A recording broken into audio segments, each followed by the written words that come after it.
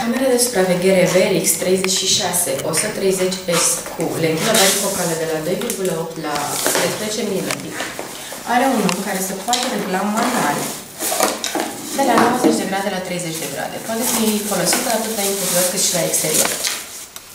Camera are 36 de LED-uri infraroșu, iar distanța de iluminare este de maxim 30 de metri pe timpul nopții. Se folosește special pentru camerele de marcat. Este o cameră HD de 1,3 megapixel. Conectarea la DVR se face prin cablu coaxial.